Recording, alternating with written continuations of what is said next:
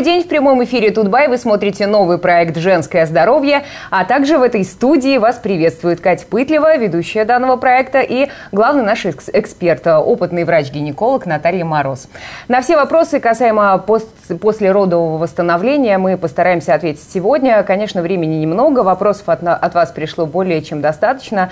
Надеемся, в течение эфира еще успеем на какие-то из них ответить. Если у вас а, появятся какие-то вопросы, присылайте их esobaka.tutbay.com. Ну, а начнем мы, естественно, с восстановления после естественных а, родов и после кесарево сечения. Так как времени, я уже сказала, мало, сразу приступим к делу. Итак, а, Наталья, если говорить о восстановлении после родов, физиологичном, нормальном, без осложнений, то сколько занимает этот процесс? Некоторые говорят год, некоторые говорят пару месяцев, а как же на самом деле? Добрый день, я рада вас всех приветствовать. Я сначала расскажу вам о нормальном течении обычного физиологического послеродового периода. Что это такое? Этот период длится 42 дня, и он начинается от момента отделения последа до конца завершения всех изменений, которые были в организме женщины во время беременности. Что происходит в этот период? Матка. Матка сокращается и достигает своего нормального состояния, то есть не беременного, в течение четырех недель. Стенки влагалища. Они в течение трех недель отечные, релаксированные, чувствительные, болезненные. То есть в течение трех недель они приходят в свою норму. Шейка закрывается в течение первых 70 дней. Что же происходит у женщины? Э, после отделения последа из организма удаляется внутренний слой, это децидуальная оболочка, сгустки крови. И так, таким образом у женщины появляется своеобразное выделение, которое называется лохи. Они длятся от 3 максимум до 5 дней. Потом происходит рубцевание слизистой, и э, выделение становится более скудное, и рубцевание происходит где-то в течение 7-10 суток, эндометрия. Если же лохи, они должны без э, запаха быть. Если, не дай бог, к лохиям присоединяется какой-то специфический запах, мы здесь уже говорим о присоединении инфекции.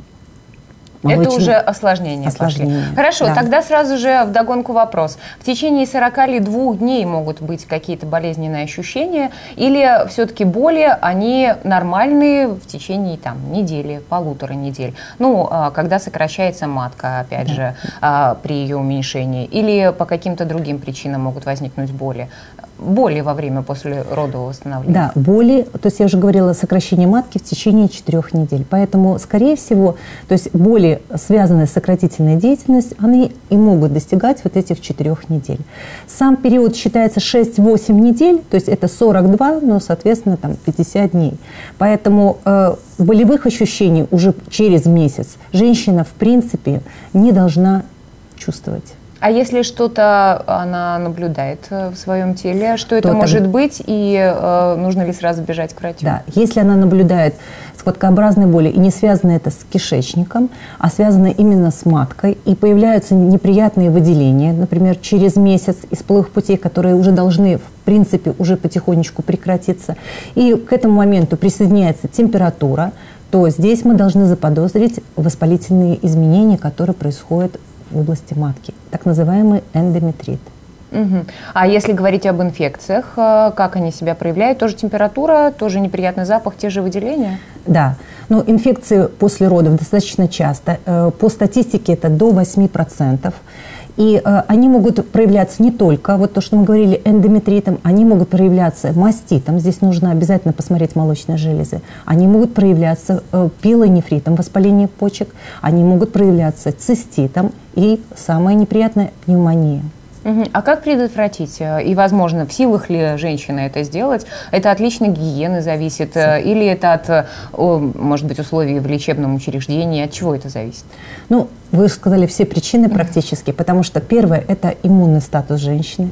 Второе – это наличие каких-то э, условно-патогенных микробов и количество их в организме женщины. Третье – это болезнь грязных рук, это называется появление маститов, то есть это действительно гигиена, мойте руки, то есть проветривайте помещение.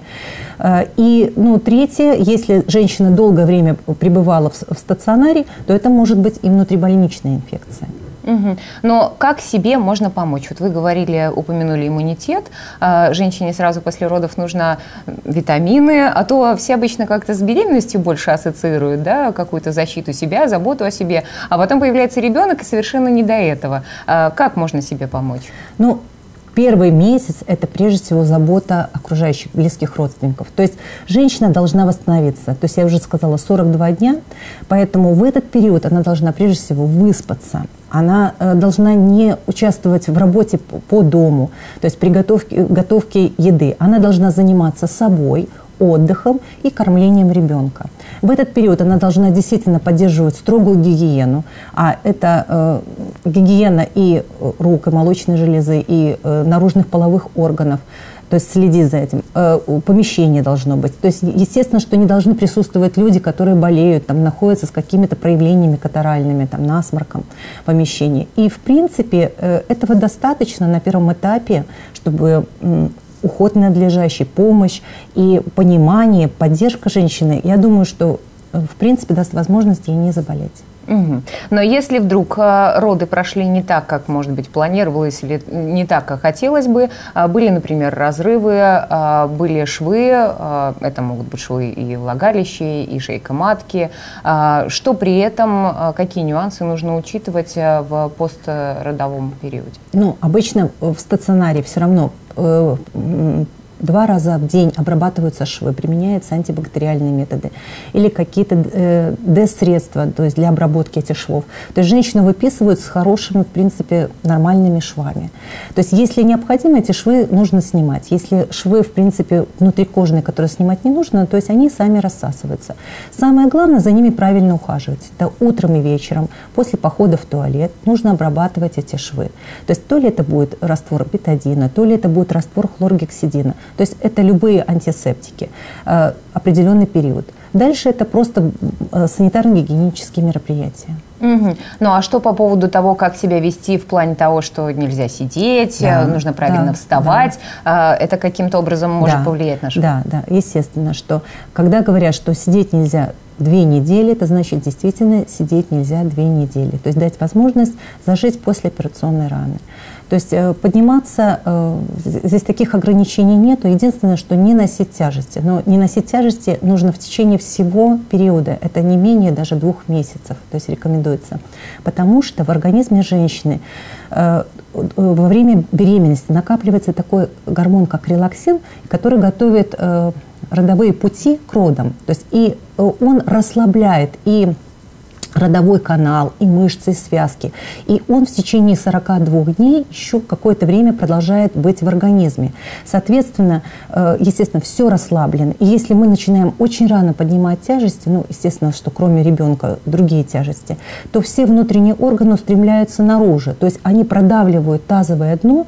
И таким образом, если оно не защищено, то есть есть какие-то наследственные предрасположенности или те же операции во время родов, они пролоббируют это, вот, это тазовое дно и возникает э, пролапс или опущение внутренних и наружных половых органов.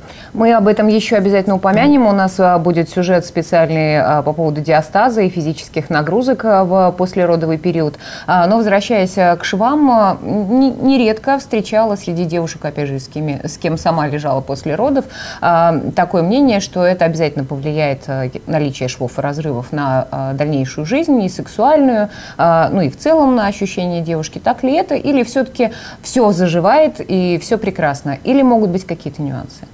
Ну, могут быть два, две стороны медали. Значит, в норме, если сопоставляется правильно тазовое дно, это э, мышечные, мышцы с мышцами, слизистая, слизистая кожа с кожей, то, в принципе, никаких последствий после этих операций не бывает. То есть это правильное восстановление. Если же были какие-то нюансы, но связанные, например, с большой кровопотерей или гематомами, то, есть, то тогда, естественно, что могут быть нарушения в правильном сопоставлении тканей. То есть э, это достаточно редкий случай, но, к сожалению, они такие бывают. Вот в, это, в этой ситуации могут быть осложнения, которые я говорила, в виде деформации промежности, в виде нарушений в будущем последствий э, сексуальной жизни, вообще невозможности э, половой жизни. Это такое состояние, как диспариуния, болезненность полового акта. Это может быть нарушение состояния слизистой, она может быть сухой, быстро травмироваться, ну и так далее.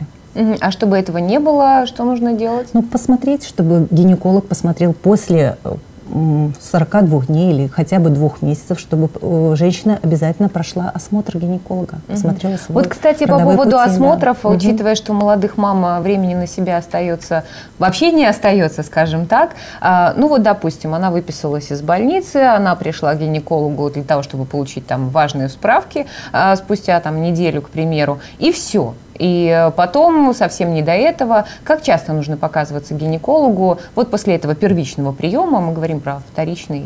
Ну, Лично я всегда рекомендую появляться через два месяца после родов. Вот когда уже прошел процесс, вот то, что мы говорили, физиологического восстановления, то есть и тогда будут видны все проблемы, будут видны на лицо. То есть э, нужно будет посмотреть, сделать осмотр наружный, то есть посмотреть женщину в зеркалах и обязательно сделать УЗИ. И тогда мы можем дальше судить, как будет развиваться ее в дальнейшем жизнь. Угу. Есть ли какие-то нюансы восстановления после кесарево сечения? Нет. После кесарева тот же период после родовой, как после обычных родов, 42 дня. Единственное, что нюансы после кесарево сечения, это э, связано с операцией. И, естественно, заниматься, например, спортом, активным образом жизни можно не раньше, чем через два месяца после кесарево сечения. Очень часто отмечают, например, нечувствительность в области швов после кесарево сечения.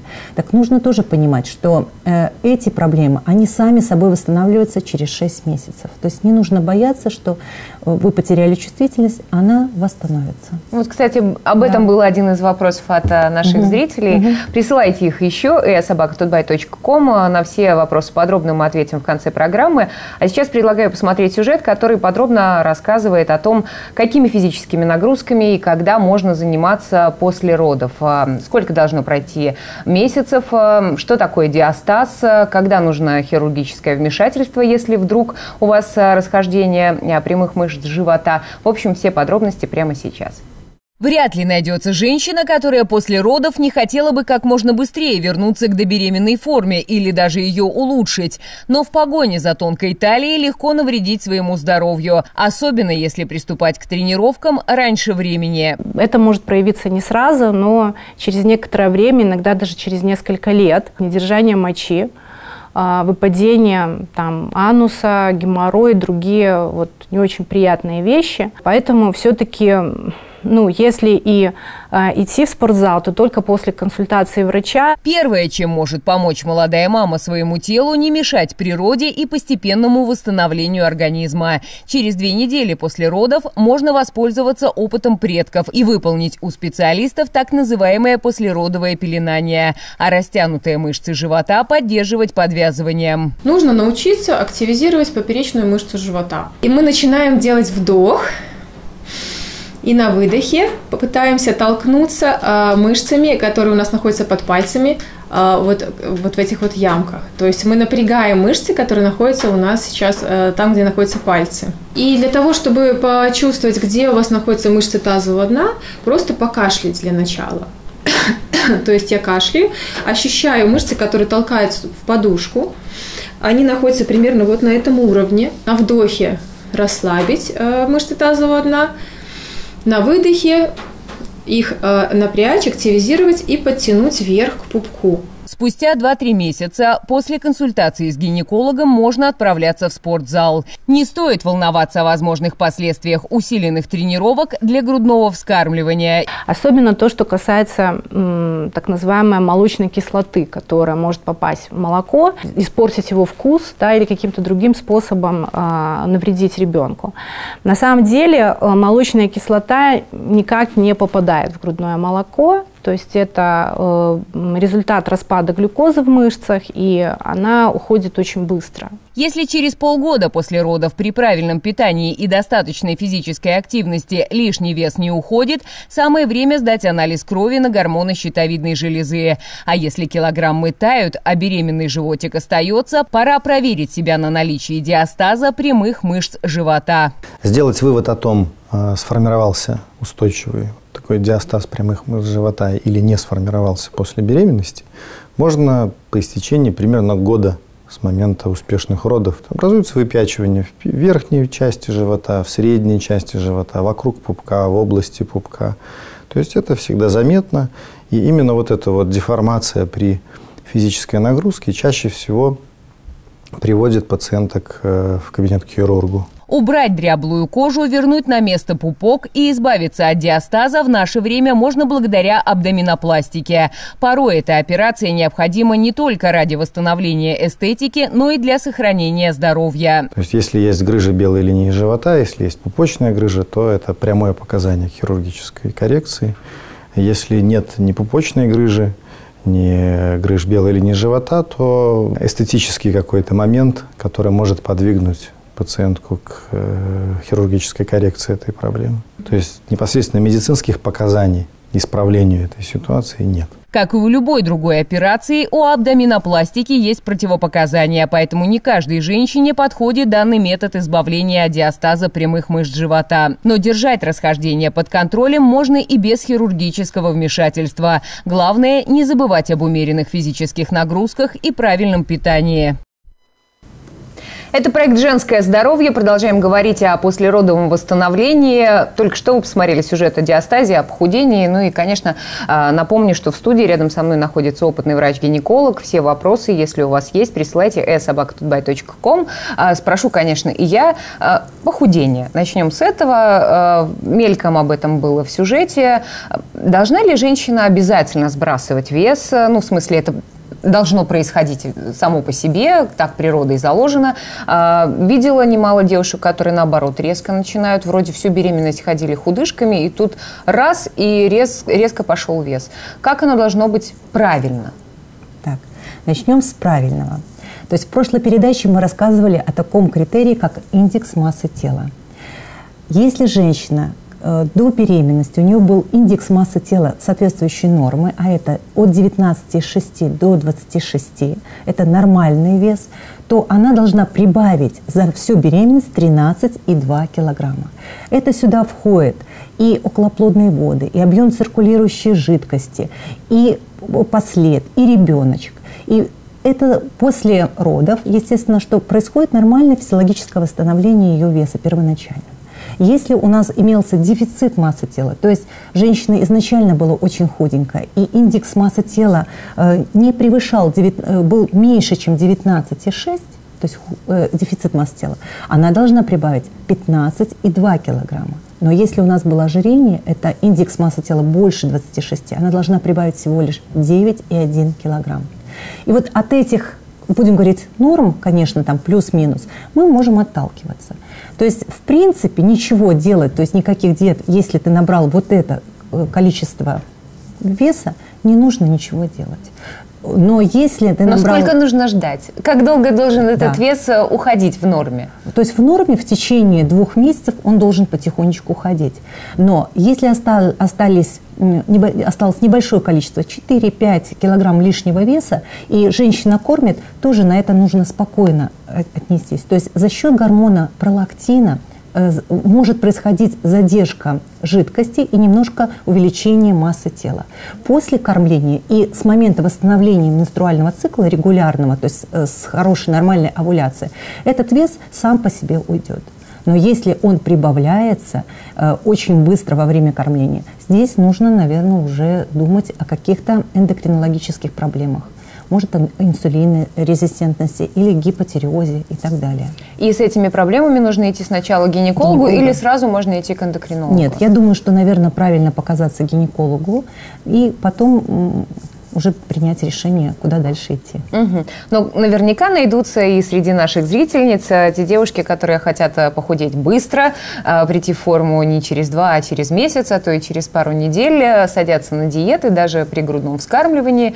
В этом отношении чем можно себе навредить? Как можно да. себе навредить? Если садиться на строгие диеты и знать, что во время кормления идет очень сильное потребление белков, жиров, углеводов, а также кальция, массы микроэлементов э, из-за того, что все это поступает в грудное молоко, то, естественно, у самой женщины будет дефицит всех этих э, э, элементов. То есть ребенок получит свое, а женщина, да, а женщина останется да. ни с чем. И это будет проявляться ломкими ногтями, выпадением волос, крошающимися зубами, э, то есть э, неприглядным внешним видом. То есть поэтому нужно, наверное, все-таки выбирать из двух зол меньшее. То есть если все-таки ты кормишь ребенка грудью, то нужно думать о том, чтобы кормить э, ребенка грудью. Угу. Хорошо, с диетами разобрались, а как насчет физических нагрузок? А, а, мы говорили с разными специалистами вот в сюжете, и кто-то говорил о том, что первые там, пару недель лучше ничего не делать, кто-то говорил о том, что лучше ждать до полугода.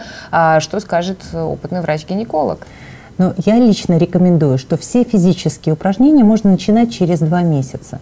То есть это уже полноценно прошел нормальный послеродовый период, э, восстановились внутренние органы, и можно давать нагрузку на те же прямые мышцы, поперечные мышцы живота, на тазовое дно. Угу. Ну, в этом отношении не могу не привести личный пример. А, мне дали методичку прямо в роддоме. А, выполняй такие вот упражнения, потому что у тебя там была многоплодная беременность, и тебе нужно побыстрее восстанавливать живот. Как это вот что-то не сочетается? Получается, что как бы и нельзя физическую активность, или какую-то можно? Э, физическую активность. Конкретные упражнения, поднятие таза, поднятие ног э, и так далее. Да, это э, если это упражнение связано с э, такими упражнениями, как кегели, то есть направлены на укрепление мышц тазового дна, эти упражнения может выполнять любая женщина даже, наверное, и через месяц после родов. Если же упражнения связаны на э, мышцы живота или с поднятием какие-то силовые нагрузки, то есть э, тяжести, я, я думаю, что их стоит выполнять, конечно, не раньше, чем через два месяца. Это чревато тем, что э, мышцы не восстановлены, внутренние органы не восстановлены. Вот именно вот в эти периоды может усугубляться такая проблема, как диастаз прямых мышц живота. Угу. А если говорить об упражнении Кегеля, правда ли оно такое целебное и всем помогает, и прям оно обязательно всем э, роженицам для восстановления сексуальной жизни или нет?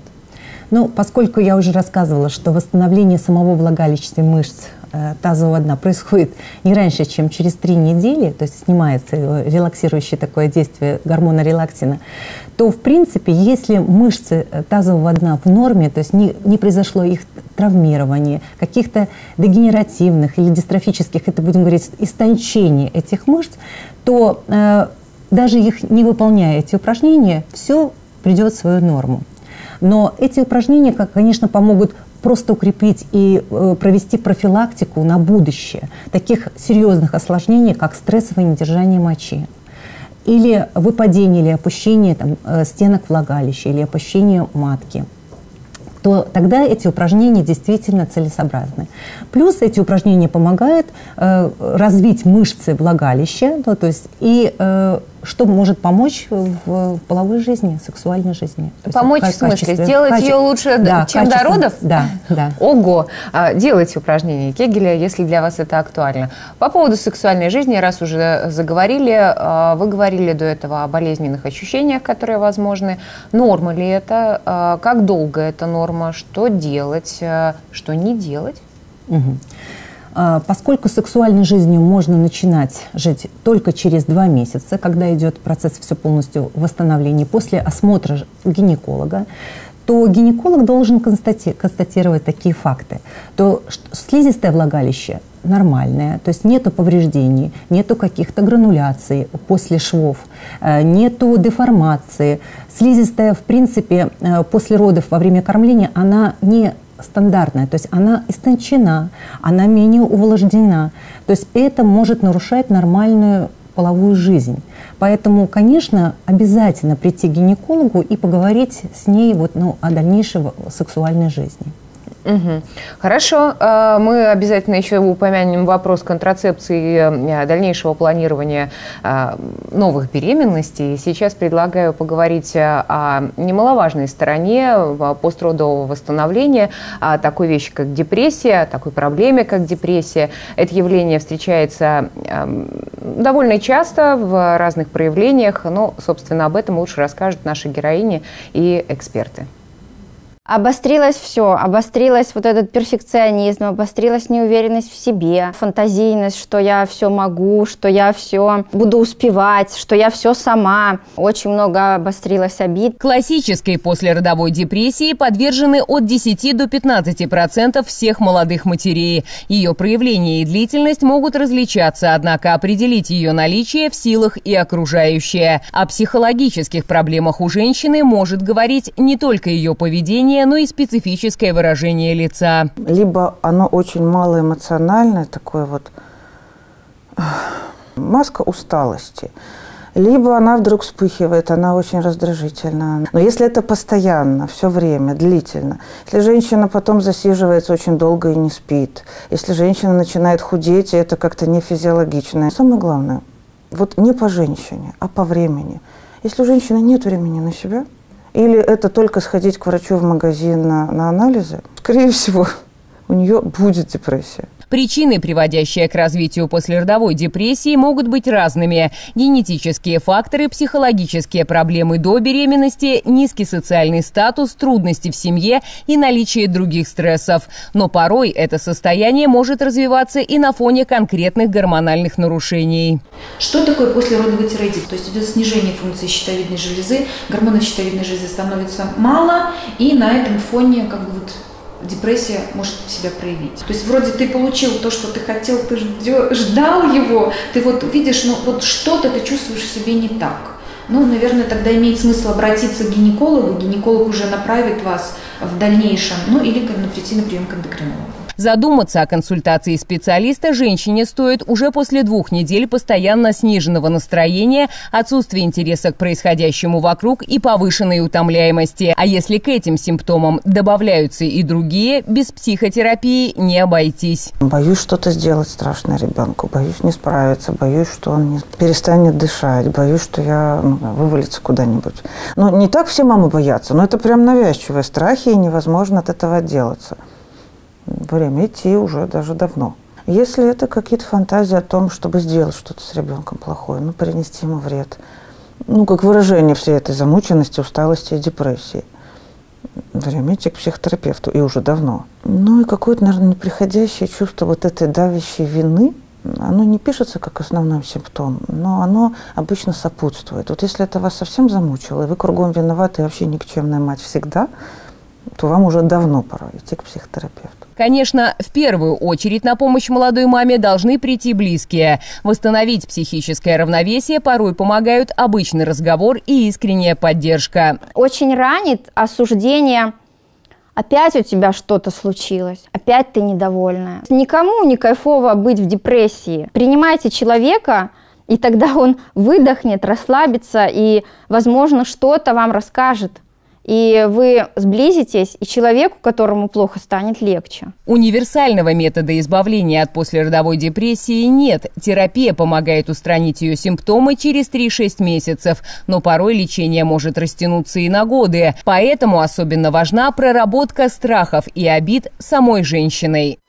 Кстати говоря, очень фраза мне понравилась Евгении Точицкой, одного из экспертов, врача-психотерапевта, который только что э, прозвучало это мнение в нашем сюжете, что у женщины точно депрессия, если у нее нет времени на себя.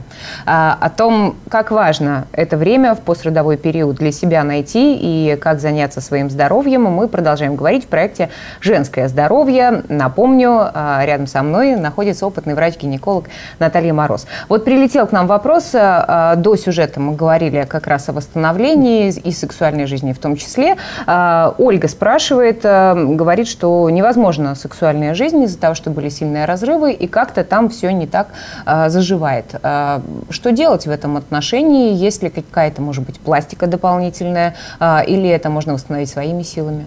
Да. Очень спасибо большое за вопрос. То есть я хочу отметить, что После осмотра гинеколога, который проводится через два месяца, и начала половой жизни, то есть женщина приходит очень часто с такими жалобами, что невозможно жить половой жизнью. Э, если хожу в бассейн, вытекает вода, э, ощущение такое, что ходит воздух туда-сюда. То есть э, вот эти симптомы говорят о том, что тазовое дно несостоятельно, то есть мышечно-фасциальный комплекс, который удерживает тазовое дно в правильном состоянии, он нарушен. Здесь уже, конечно, упражнению Кегеля, которое относится к консервативным методам, и, например, тем же вагинальным конусом, который сейчас очень э, сильно рекламируется, мы, конечно, ну, это будет недостаточно. Поэтому существует на сегодняшний момент замечательная такая э, мини-инвазивная операция, которая называется малоинвазивная перинеопластика. Она заключается в соединении раз, э, мышц, которые нарушены во время родов с помощью специальных нитей. И, естественно, здесь восстанавливается не только функция, но и эстетические моменты. Э, после этой операции можно через там 3-4 недели уже жить нормальной половой жизнью, и, конечно, качество жизни э, женщины значительно становится лучше. Это травматичная операция, период восстановления, вот вы говорите, три недели, все эти три недели есть какие-то боли, или уже прямо на следующий день летаешь, и все хорошо? Да, после этой операции очень э, быстро проходит восстановительный период, поэтому она называется мини-инвазивная, малоинвазивная. То есть она делается через небольшие только отверстия на коже промежности. И э, восстановительный период практически, ну, максимум длится 5-6 дней, когда могут быть неприятные э, болевые ощущения в области промежности. Женщине разрешается сидеть после операции, то есть заниматься своими домашними делами. Поэтому, в принципе, э, приходите на осмотр к врачу для того, чтобы правильно поставить и вовремя диагноз. Угу. И долетел еще вопрос от Дарьи по поводу груди. Мы вот как-то этот э, момент еще не проговорили. А, конечно, времени осталось совсем чуть-чуть, хотелось бы рассмотреть еще многие вопросы. Но, тем не менее, вот э, грудь женщины после родов, э, мы говорим о кормящих матерях и не кормящих по разным причинам. Зачем нужно следить и когда нужно идти к врачу? Наверное, вот это самое главное проговорим. Э, мы не говорили в нормальном физиологическом э, послеродовом периоде, не, не рассказывали, что э, сначала действие гормона пролактина, который именно способствует лактации, происходят следующие изменения. То есть первые трое суток из груди выделяется молозиво, то есть это самый полезный продукт для ребеночка. Потом начинает вырабатываться молоко. В период всего вот этого длительного периода кормления у женщины отсутствуют месячные. Но очень интересно, что через 10 недель э, могут восстанавливаться овуляции у женщины, а через 12 недель, если женщина вдруг прекратила кормить, могут пойти месячные. И бывают случаи, когда вот овуляция восстановилась, это через 3 примерно месяца, и женщина кормит, это редкий случай, но они бывают, что она может забеременеть. Поэтому э, контрацепцию именно стоит начинать через, ну, например, с трех месяцев после родов вне зависимости от того, кормишь ты грудью или нет. А если говорить о контрацепции, то какая это контрацепция? Оральные контрацептивы или это все-таки барьерный какой-то способ? Если женщина не менструирует, то, конечно, в данной ситуации э, лучше применять такие таблетки, как называются мини-пили, состоящие из чистых гистогенов.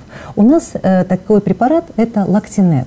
Э, в России суще существует еще чиразета. Эти препараты, состоящие из гистогенов, принимаются в непрерывном режиме. Они не мешают кормлению, то есть не снижают уровень пролактина и стойко вызывают контрацепцию. Если женщины начался нормальный менструальный цикл, то и она э, заканчивает свой э, процесс кормления, то, конечно, нужно предложить женщине при здоровой шейке, это введение внутриматочных контрацептивов. И также здесь можно применять уже обычные оральные контрацептивы, монофазные. Ну и тогда вопрос, как долго предохраняться, в смысле, когда можно планировать будущую беременность, если у женщины э, в ее семье есть такое желание. А после кесарева когда угу. и после естественных родов когда? После естественных родов можно планировать через год уже. То есть все зависит от поддержки, от сил самой женщины, от здоровья. То есть, а э, после кесарево сечения рекомендуется не раньше, чем через два года. А чем чревато, если раньше? Э, э, у женщины может не восстановиться после родовый, после операционный рубец. То есть может быть несостоятельность этого рубца на матке. Естественно, что это может вызвать разрыв матки. Угу. У нас был вопрос вот как раз по этому поводу, а вообще возможны ли естественные роды после кесарева, если говорить о планировании будущих беременностей? Э, конечно, возможны роды, и сейчас э, это достаточно нередко, когда роды после кесарево сечения. Все зависит от того, от состояния после э, операционного рубца э, именно на матке. Но это все будет видно э, в конце э, беременности, то есть оценивается состоятельность рубца. Если рубец по ультразвуковой диагностике состоятельный, то таким женщинам будет предложено рожать самостоятельно, через естественные родовые пути. Угу. Ну что ж, э, переходим к вашим вопросам. Спасибо всем, кто их присылал. Э, первый вопрос. 25 лет. Мне поставила спираль серебром. После рождения сына прошло полтора года. Срок эксплуатации указанной упаковки 7 лет. Скажите, как можно, насколько долго можно не удалять ее, чтобы не причинять вред здоровью? Ну, видимо, девушка не хотела бы ее удалять. Но из моего опыта спираль, э, то есть метод контрацепции спирали, это поддержание небольшого воспаления внутри матки. Только из-за этого не происходит процесс имплантации. То есть если она не сдвигается, то, естественно, естественно имплантация не происходит. Срок ее действия, хотя написано на коробке упаковки 7 лет, но лучше, не, чтобы он не превышал 5 лет. Иначе, в принципе, присоединяется дезинфекция, начинается Э, воспалительные процессы. Поэтому лучше ее через 5 лет извлечь, э, произвести санацию, обследоваться. Ну, если этот метод контрацепции ее устраивает, можно заново поставить через несколько месяцев. Угу, спасибо. А, когда можно полноценно начать заниматься спортом, а, как вернуть, как, чтобы вернуть форму? Ну, об этом мы уже довольно подробно поговорили, и сюжет даже показали. А, как часто нужно будет посещать гинеколога? Достаточно ли раз в полгода? Достаточно. То есть гинеколога, если нет никаких проблем, можно посещать, в принципе, раз в год. Угу. Чем моложе женщина, тем быстрее вернется в форму после родов. Вот такое есть мнение у нас э, на форуме. Это правда? Ну, я думаю, что, конечно, это быстрее, потому что обменный процесс у молодой женщины проходит более активно, чем у женщин, например, после 35 лет. Но, в принципе, если генетически такая женщина достаточно стройная, то прийти в форму ей не представляет труда. Угу. Интересует насущный, думаю, для многих вопрос. Сколько времени нужно подождать после кесарево сечения, прежде чем начать интенсивные силовые нагрузки, чтобы это никак не отразилось на грудном вскармливании? Мы уже, говорили, конечно, отвечали да, на да, этот да. вопрос, нечего ну, добавить, да, наверное. Да. А, так, ну опять же, тут физические нагрузки, пресс и плавание. А, вот интересный вопрос, мы его а, не затрагивали. Можно ли в первые дни после операции одевать послеоперационный бандаж? Вот что вы думаете по поводу корсетов, бандажей? Потому как а, специалисты вот в нашем сюжете о диастазе угу. говорили о том, что это не очень хорошо, то есть лучше использовать подвязывание, потому как из-за корсета происходит опущение органов, они неправильным образом распределяются, но вы, как врач, мне кажется, лучше это расскажете, чем я. Ну, э, если при, приходить к, ну, прибегать к истории, то э, в Древней Руси прибегали к пеленанию. И, например, в восточных странах или странах Азии э, используют такие слинги. То есть, э, действительно, пеленание, то есть не корсеты, а э, просто стягивание э, органов малого таза. То есть я думаю, что это более щадящая, бережная процедура, чем, чем корсет. Мне не нравится корсет, потому что могут, может происходить нарушение Э, и, и, как говорится, ишемия внутренних органов, то есть нарушение кровоснабжения. Поэтому бережное пеленание или подвязывание – это более естественно. Угу. А, может ли пройти сам со временем диастаз мышц живота передней, первой степени? Можно ли скорректировать это упражнением? Какие наиболее эффективны? Вот, кстати, тут еще в догонку был а, вот не только от Елены, которая задала mm. этот вопрос, но еще и от других наших а, зрителей, а, что не верят в эффективность упражнений, что диастаз, он так вот просто не уйдет. А, что вы можете об этом сказать как специалист? Э, э, диастаз, конечно, сам по себе не, не уйдет, потому что если разошлись мышцы, то, в принципе, просто можно с этим э, жить и не дать дальше ему развиваться, то есть не, не давать. Для этого нужно держать вес в определенном да, постоянстве, константе, то есть и выполнять упражнения на мышцы пресса. То есть это могут быть и спортзал, и в домашних условиях, когда есть маленький ребеночек, и э, приседания, и поднятие ног, и поднятие таза. То есть э, в принципе, это достаточно для того, чтобы просто дальше процесс не пошел. Если же прибавляется ну, масса тела, и вы не делаете никаких упражнений, это может усугубить ситуацию, и, естественно, диастаз этот будет продолжать развиваться. Ну вот продолжая эту тему, Жанна еще спрашивает, mm-hmm. у нее а, двое детей, и после вторых родов усугубила ситуация, живот теперь большой, первый раз как-то более или менее оно быстро все восстановилось, а, плюс еще лишний вес, и вот она, естественно, из-за этого не очень хорошо себя чувствует, в смысле, ей не нравится отражение в зеркале, это влияет на настроение, тут уже и пострадовая депрессия, в общем, все вместе. Э, и она спрашивает, а нужно ли начинать с гинеколога, или можно идти сразу на операцию, или нужно делать упражнения. Вот порядок, да, вот есть ли какой-то алгоритм, с чего лучше начать, угу. если вот вы смотрите в зеркало и вы понимаете, у меня большой живот, мне это не нравится, у меня лишний вес, я как-то хочу потихонечку восстанавливаться. Спасибо за вопрос. Естественно, что если общая масса тела в принципе в норме, а только свисает живот, то есть он перерастянут, именно кожа перерастянута, и нету на нем отложения жира, то, естественно, здесь помочь может только пластический хирург. К нашему моменту э, в арсенале имеется так, называемая операция абдоминопластика, где происходит реконструкция не только соединяются мышцы, вот убирается диастаз, но убирается излишки кожи. Если же это лишний вес, то есть по всему телу, не только в области живота, я думаю, что правильнее пойти к гинекологу или эндокринологу и определиться – в чем проблема? То есть и начать, наверное, с уменьшения этого лишнего веса. Может быть, э, и живот, и общие как бы, жировые отложения, они уйдут, и не нужно будет прибегать к пластической хирургии. Если же после снижения веса останется обвисший живот, то, конечно, стоит тогда прибегнуть к пластической хирургии. Угу, спасибо. Еще один вопрос. После родов 10 месяцев не было менструации. Когда появилась, то кроме обычных 5-6 дней а, появились довольно продолжительные кровянистые выделения или небольшие еще дополнительно. А, является ли это поводом для беспокойства? Можно ли это предотвратить? Э, ну, тут, наверное, в целом, да, угу. о каких-то нарушениях, нарушениях поговорим. Угу. Спасибо за вопрос. Э, по поводу нарушений. То есть э, у женщины э, через 10 недель, я уже говорила, может восстанавливаться первые появляться овуляции, а через 12 недель может восстановиться менструальный цикл. Первые месячные проходят э, чаще всего анавуляторно, они могут быть ацикличны, то есть приходить через разные промежутки времени. И это считается вариант нормы. Но это может продолжаться но в среднем от 3 до 6 месяцев. Потом месячные должны стать регулярные. То есть либо как до родов, либо они имеют свой определенный промежуток времени.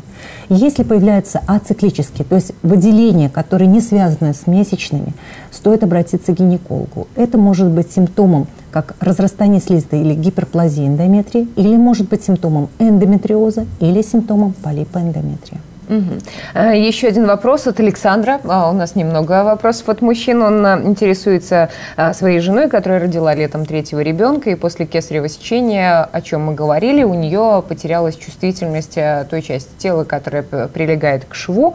Мы говорили про то, что на восстановление нужно полгода. полгода. А вот если этого не происходит, и какие еще другие могут быть неврологические Нет. нарушения? Эти, хорошо, спасибо большое за вопрос принципе, это, эти изменения пройдут через полгода, потому что происходит, ну, э, в гистологии называется неогенез, то есть когда появляются новые нервные окончания. То есть им нужно время, чтобы вырасти. Uh-huh. Поэтому и процесс этот затягивается достаточно долго, то полгода.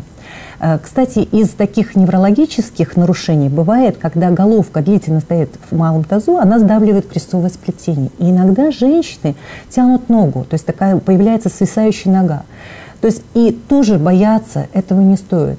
Э, через 3-4 месяца этот процесс вернется то есть на свои круги. То есть все восстановится. Угу. И еще один вопрос э, касаемо восстановления после внеш, внешних и внутренних швов. Э, мы вскользь об этом говорили. А вот девушка пишет, что на внутренних образовались грануляции. А, скоро ребенку год, грануляции остались. Она сама э, прервала лечение, хотя ей гинеколог назначал прикладывать мазь. А, можно ли каким-то хирургическим путем удалить эти грануляции? Где это сделать или как это сделать вообще? Угу. Э, спасибо большое за вопрос. Э, по поводу грануляции. Грануляция – это воспалительное разрастание слизистой, э, связано с тем, что происходила травматизация шумным материалом.